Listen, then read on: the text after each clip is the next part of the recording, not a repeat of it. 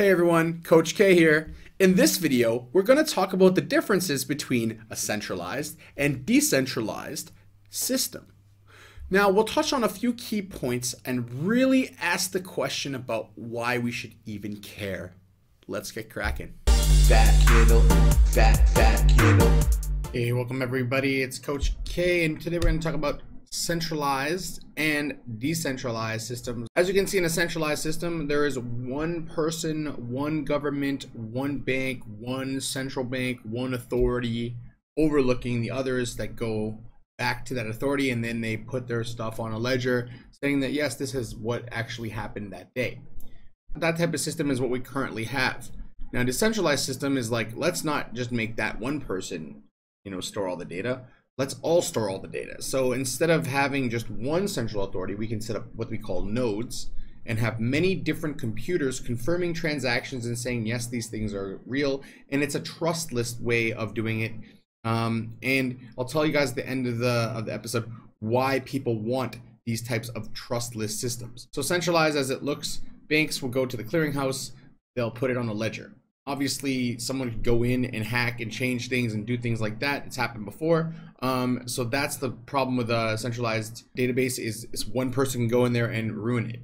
Whereas on a decentralized distributed network, now many different nodes confirm transactions. So if one person tries to go in and say, yeah, I didn't change this transaction, the other computers in the network will say, no, that's not real and won't let it happen.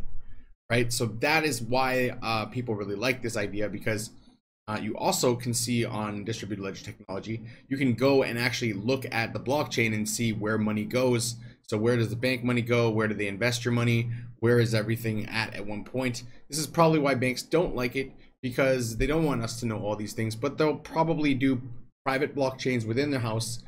So here is just another example. So the current system, what it looks like, calculated at the end in the central, whereas why not have all the banks in the network be connected to a decentralized system and all those different banks all confirm all the transactions and then it's guaranteed settlement quickly too.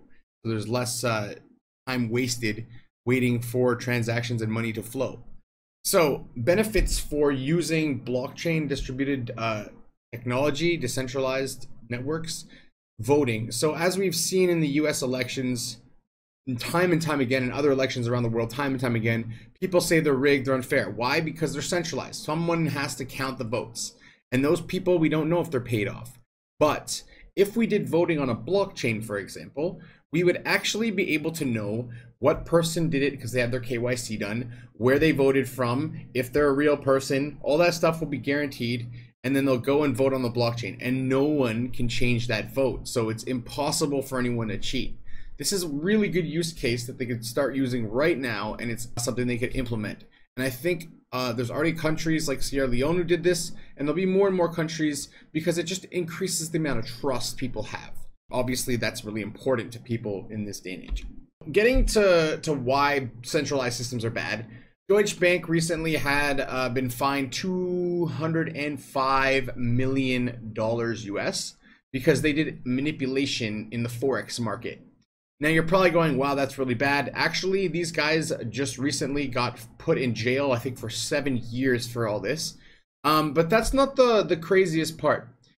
How often do you think banks have done this? And think about this. They've been charged for money laundering and all different types of uh, things like uh, violating embargoes recently in Cuba. Um, lots of different ways that they've broken uh, and things and, you know, gone against the rules. So the question we have to ask is, you know, are banks doing it better with a centralized system? Because a lot of the time they're not getting caught till it's way too late.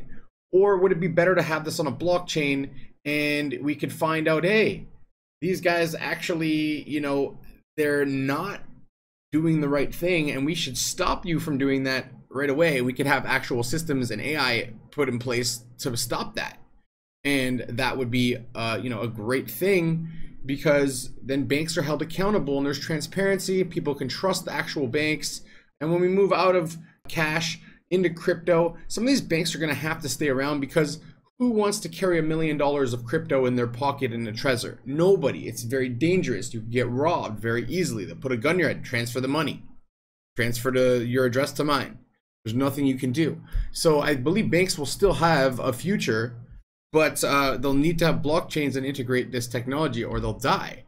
And now here's another example of this. So from 2008 to 2017, the Bank of America, America paid in billions of dollars, almost $60 billion in fines. JP Morgan Chase, 26 billion, I believe it was. Citigroup, RBS, Deutsche Bank, look at the amounts of billions of dollars in fines.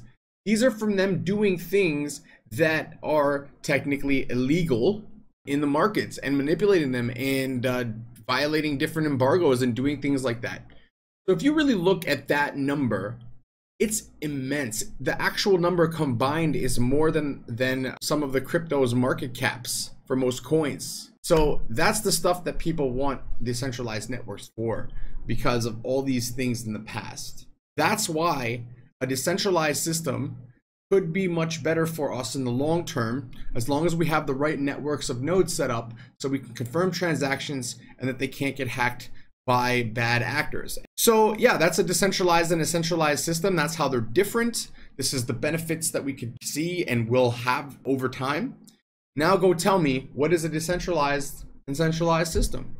Fat fat, fat fat huge fat.